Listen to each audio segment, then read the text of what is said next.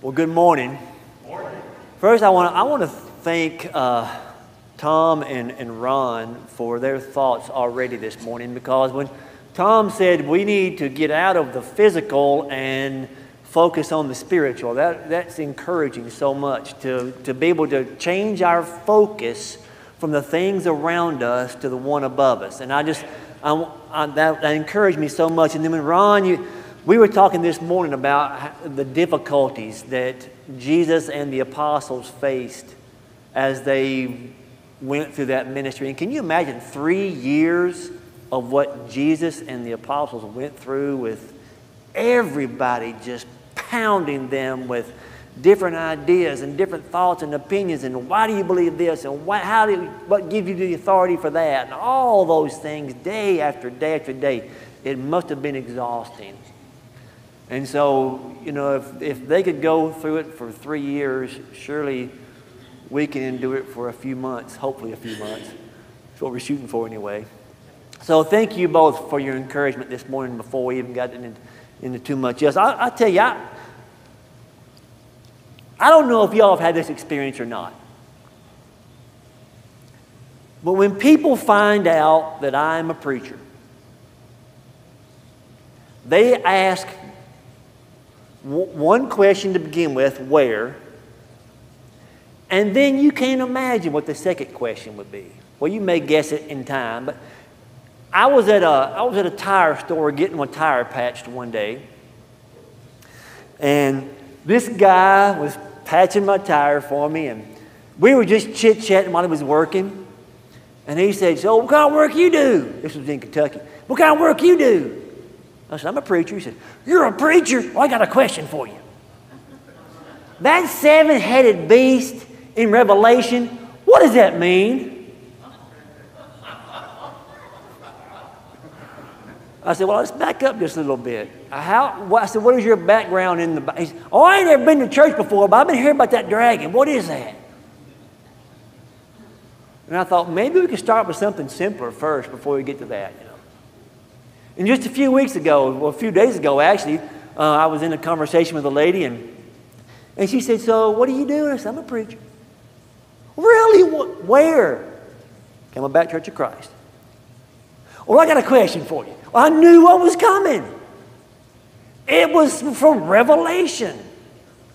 And it was a question about the, the end times and Armageddon and a thousand years. You know, just, it, and I, and her background in Scripture is, from what our discussion I learned, is not that deep. So, why is it that people want to dive into the deep end of Revelation without wading in first? And so that, I've been thinking about that over the course of the past few weeks, and, and I actually got a, an article this week from a friend of mine. Uh, who was a, a preacher. He's actually an, uh, he teaches at a preaching school back in Tennessee. And he shared this article, and I want to read it to you this morning because it is so appropriate to, uh, to what we just, we just talked about. Listen to, listen to this. The title of the article is Things in the Bible That Worry Me Most. Okay? I can assure you right now, the seven headed beast in Revelation does not worry me. You know, because Revelation, to me, Revelation is a shout of victory. Revelation says, hey, we win.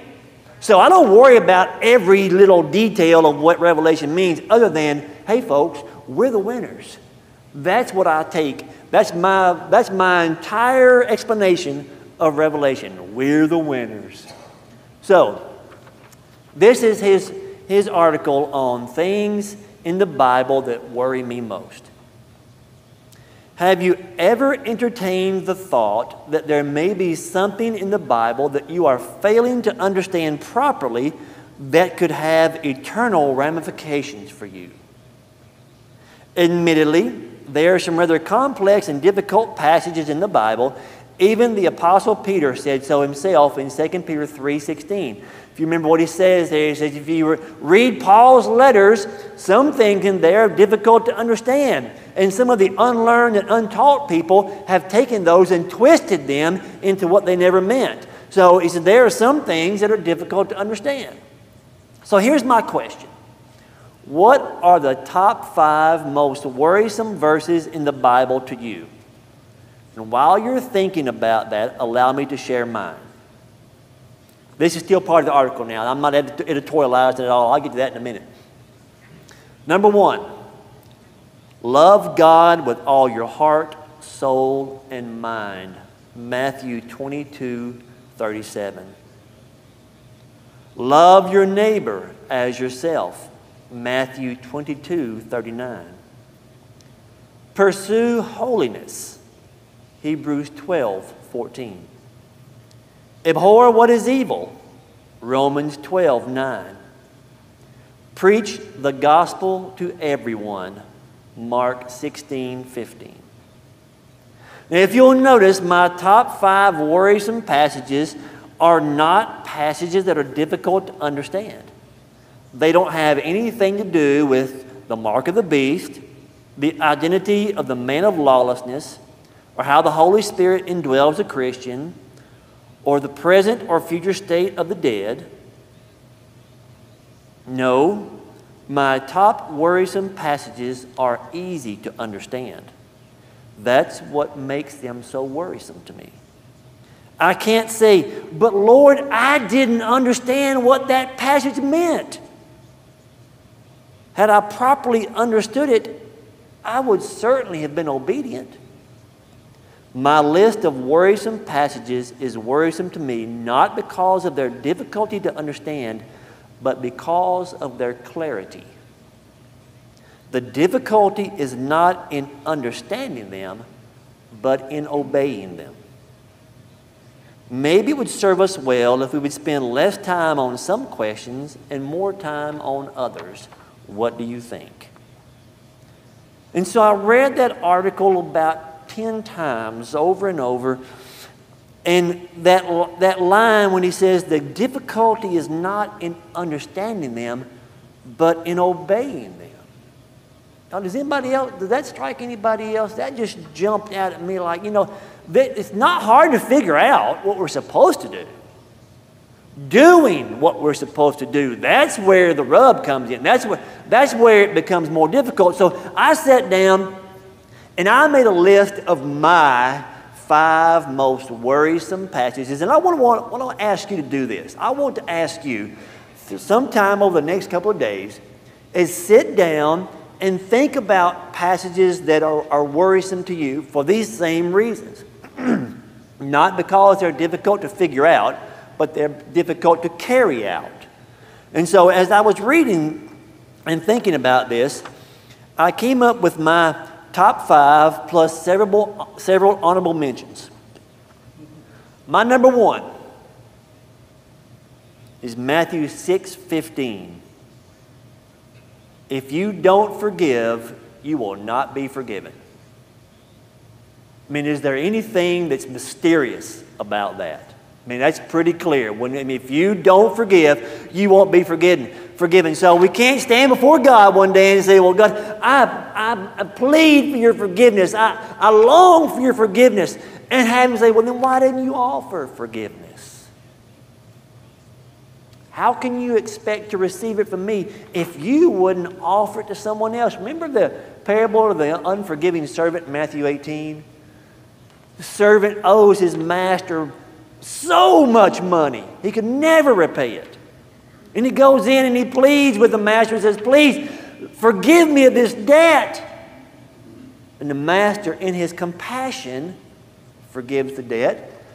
The servant immediately goes out, finds a friend of his owes him just a little bit, takes him by the throat, threatens him, says, Pay me what you owe me or else.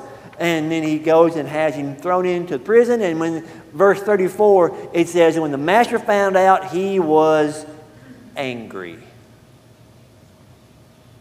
I don't want to stand before God and have Him angry at me for not forgiving like I should. That passage is worrisome to me. Forgive or you won't be forgiven because I will, I'm in the spirit of transparency, y'all. There have been times in my life that I have held on. I have held on to whatever it was, and I was not about to forgive. It's hard sometimes. But the passage is clear. My number two, still in the Sermon on the Mount, Matthew 7 21. Not everyone who says to me, Lord, Lord, will enter the kingdom of heaven, but those who do the will of my Father who is in heaven. You know, it's, it, it's worrisome to me to think there are people who are going through life fully and entirely convinced that they are just right with God. Because if you remember what the verse that follows that, but then they'll say, Lord, didn't we do great things in your name? Didn't we cast out demons in your name? We did wonders and signs and miracles in your name. And Jesus says, I don't know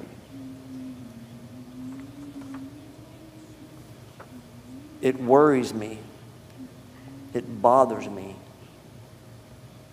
that there will be people who stand before God fully convinced of their relationship with God and their unquestionable salvation. And Jesus looks and says, I don't know you. Does anybody else think about anybody else worry about that? Think about that. There's so many people. And y'all there, and, and I'm going to tell you, I, I don't want to be one of those people with that I and I walk up to the throne with confidence because I know that I've done everything I should do and I've accomplished what I should have accomplished and I've done all these things. And then Jesus says, No. You did a lot of stuff. I don't know. What a tragedy. What a horrible moment to stand before God, stand before Jesus and say, and hear, I don't know you. That passage is worrisome to me.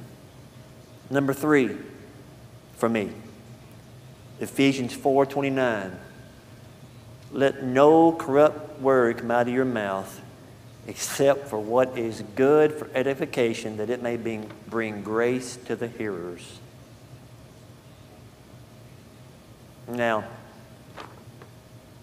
I don't have an, a, a potty, what I call a potty mouth. I don't have a potty mouth. I don't say ugly words. I don't cuss and swear and pitch a big fit. But what do, are my words, are my words beneficial? Are my words good for edification? Do I build up with my words or do I tear down with my words? Sometimes I'll think about this verse and I'll realize, you know what? I have just violated that corrupt communication part because what I just said wasn't good for edification. It wasn't good for encouragement. It didn't impart grace to the hearers. And so I think about this and I think, wow, how can I be so foolish? It doesn't mean that you can't say words that are on that list of words that we can't say. It means if it's not beneficial, if it's not encouraging, if it's not imparting grace to the hearers, it is corrupt communication that's tearing people down. And when I think about that verse, I'm like, yeah, I'm, I'm guilty of that too. Yeah, I'm, and that's why these things worry me because I can look at them and think, wow, if I'm really honest, if each one of us is really honest, we can probably find a time that we are guilty of some of these things. And so when I think about this passage of in Ephesians 4, it, he follows it up with, with no malice and, and, and show brotherly love and show kindness. And, and he says, Don't do these things Don't, don't tear people down, but build each other up and encourage and strengthen each other and show brotherly love to each other. So we got the things we, we don't do, but then things that we're supposed to do. Which is pretty common all throughout Scripture. Number four for me Philippians 4, verse 6. And I'm going to tell you, for a lot of us these days, this one is going to hit home. Be anxious for nothing. But with prayer and supplication, with all thanksgiving, let your request be made known to God.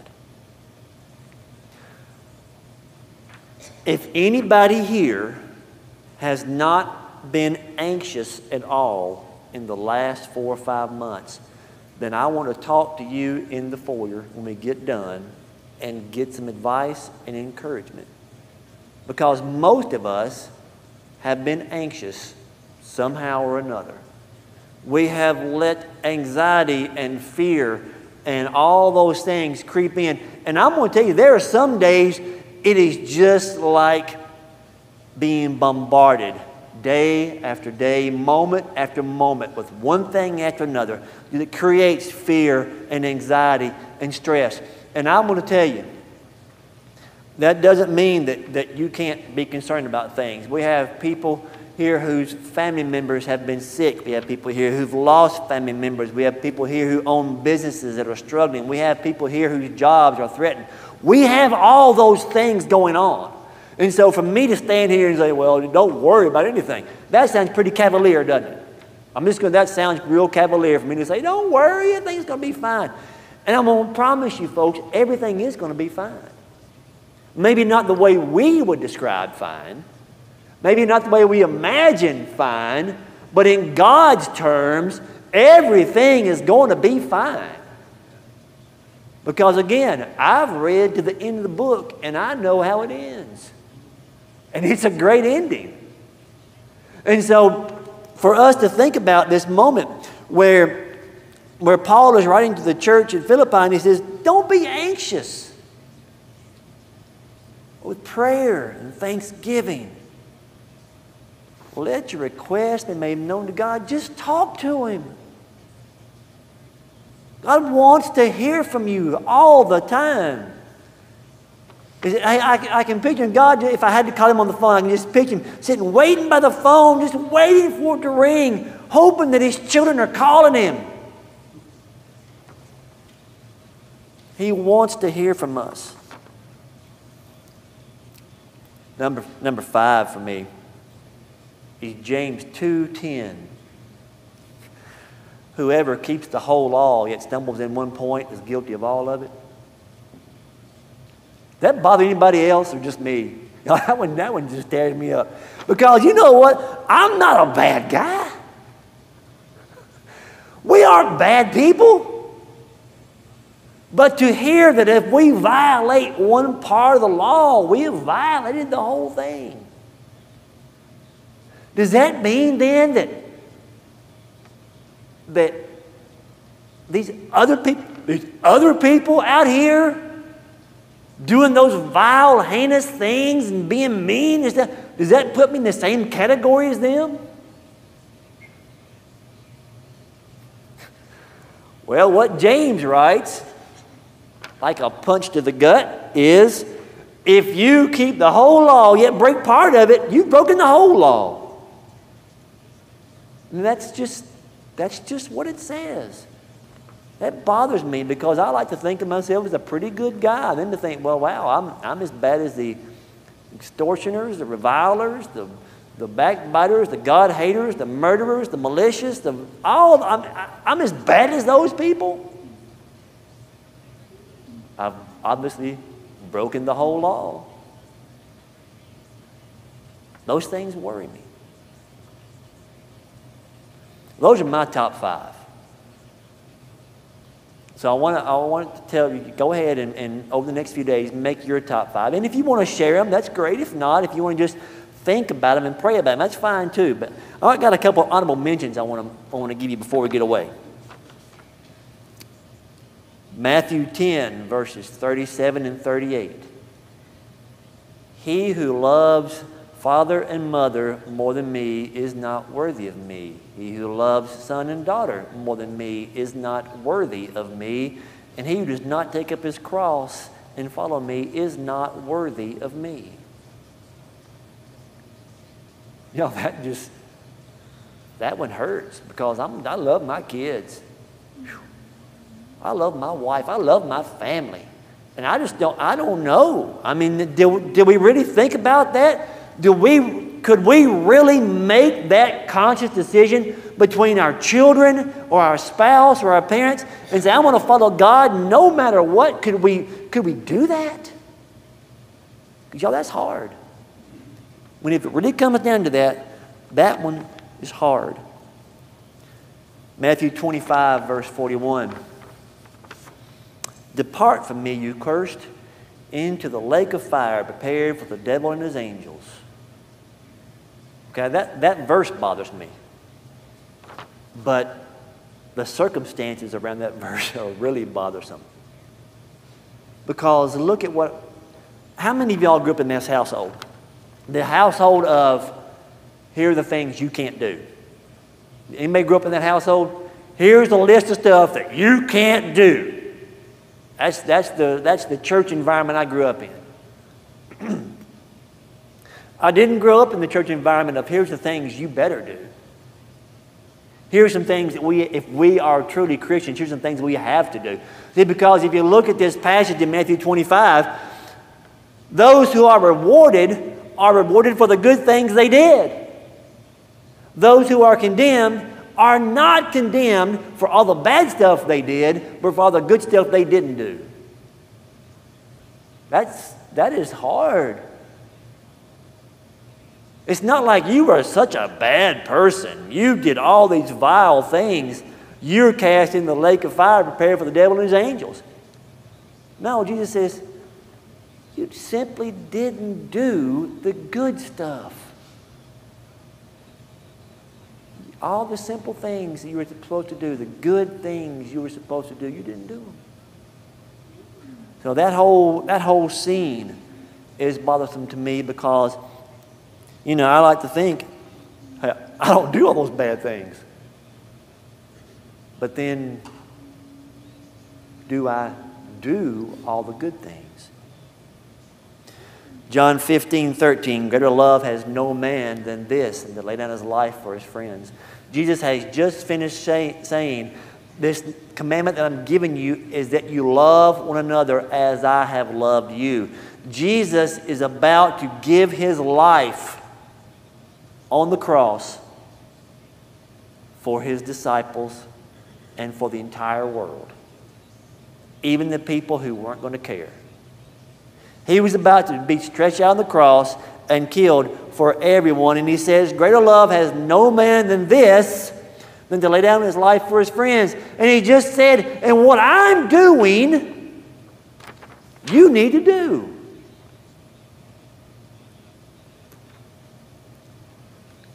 And again, I don't know that I'm ready to take that step to give my life for you. I'm just going to be honest. I don't know. I don't, I don't know that I can. I don't know that I would. I don't, I don't know. And so this verse is worrisome to me because Jesus says, this is how you're supposed to love. Howard, this is how I'm supposed to love you. I'm supposed to give my life for you. Sue, I'm supposed to die for you if I need to. Dale, I'm supposed to die for you if I need to.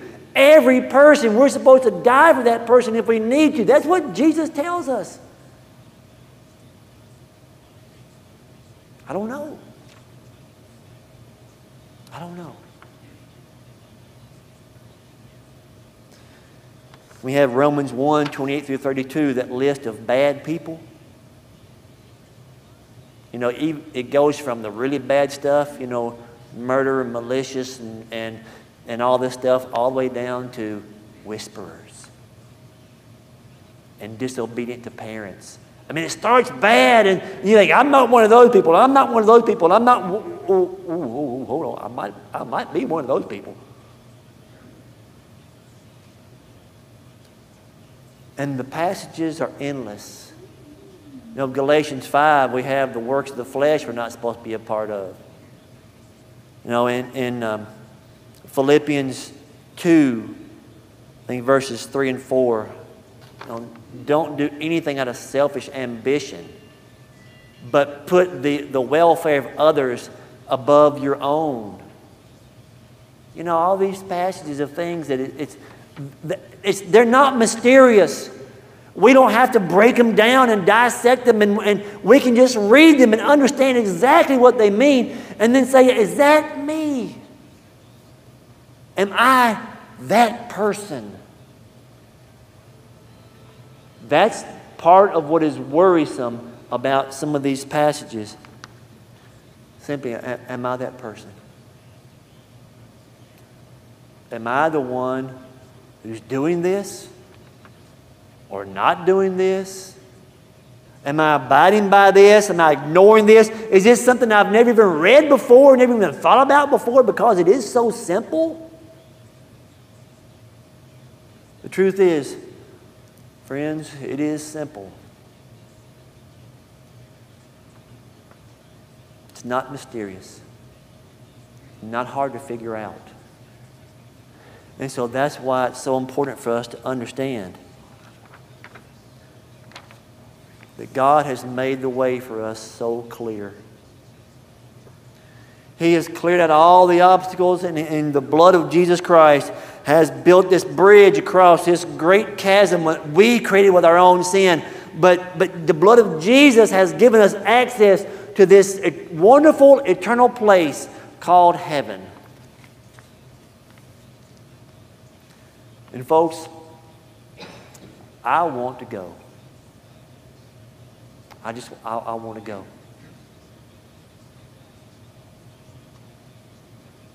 So let's not worry about the, the seven headed beast. You know, who knows? Let's not worry about all that. Let's just make sure that we love each other like we're supposed to, that we forgive each other like we're supposed to, that we do good to one another like we're supposed to. No. Let's make sure we get the easy stuff right. So, for the next couple of days, be thinking about your passages, your scriptures, the ones that, that speak to you. And I would love for you to share them with me if you want to. If you want to send me an email or a text, I would love for you to share with me because I, I mean, I can, I can learn so much from what you tell me about what your passages are and share them. And if you need to call somebody, just say, you know what, I've been reading this passage and it bothers me. Can, can we pray together about this? Because I struggle with, with this. Can we do that? You think, you think, think we could actually talk to each other and share with each other and pray with each other about struggles, about fears? Think we can do that? I, you know what? I bet we can. I bet we can do that. I'm going to pray for us right now, so let's bow together. Father, it is absolutely amazing to us the way you love us. It's incredible how simple your instructions are to us. And amazing, Father, how difficult we make it sometimes.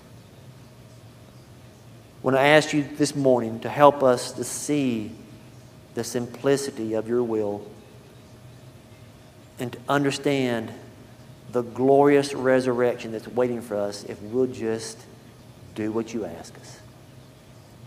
Father, we are thankful for grace. We are thankful for mercy. We're thankful for your forgiveness and your patience. And Father, we pray that we can bask in all those things, but not only enjoy them, Father, but also share them and give them. Father, we just ask that you continue to be patient with us. We know you're still working on us. And we just pray that we can be like the clay and just completely submit ourselves to be informed in your hands. Father, we love you.